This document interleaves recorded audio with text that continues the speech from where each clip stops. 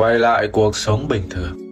Chính thức hết tết lên đường cày thôi.